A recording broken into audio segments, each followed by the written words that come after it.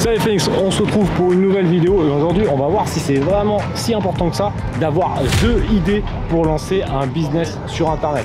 Je vois trop de personnes qui nous disent ouais mais Olivier je peux pas lancer un business parce que j'ai pas une idée produit ou j'ai pas une idée pour machin.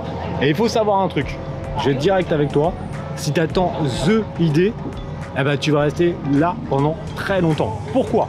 Parce que tout simplement, regarde autour de toi, il y a 7 milliards de personnes. Donc si tu crois que tu es le seul à avoir une excellente idée, bah, tu as peut-être un ego surdimensionné. Maintenant, on va partir dans l'optique que chaque bonne idée a déjà été prise au moins une fois sur cette planète. Donc toi, ton boulot, c'est de voir ce qui marche, d'analyser le potentiel et de voir comment tu peux faire mieux. Et c'est ça en fait ton boulot. C'est d'essayer de trouver une bonne idée et d'essayer de répondre à la problématique de ton futur client.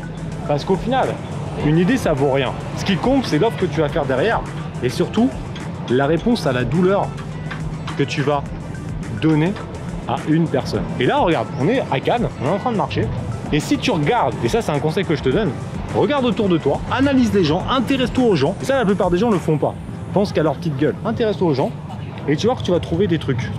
Tu vas te dire, ouais, bah là, il y a peut-être telle personne, il a acheté un étui machin, il a peut-être besoin d'une coque de protection, il a peut-être besoin de ci, il a peut-être besoin de ça. Et en fait, des idées, tu vas les trouver partout. Et d'ailleurs, si tu me suis un petit peu sur YouTube, donc d'ailleurs, il faut que tu penses à t'abonner, bah, tu vas te rappeler que la plupart des produits que j'ai fait, que j'ai vendus, bah, c'était des produits dont j'avais besoin. J'ai vendu à un moment des bolas, des Harmony Balls. Quand ma femme était enceinte, donc en 2014-2015, il y a eu beaucoup de naissances autour de nous.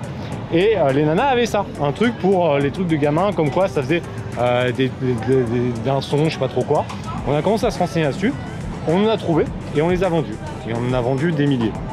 L'idée, elle était là. Après, on a vendu des trucs de cuisine pour fermer les sacs qui, quand ils étaient ouverts, on a vendu ça.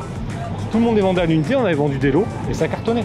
On a vendu plein de choses. Donc ça c'est une excuse de se dire non je trouve pas d'idées, les idées elles sont partout. Maintenant c'est à toi de jouer, passe à l'action et surtout intéresse-toi aux gens.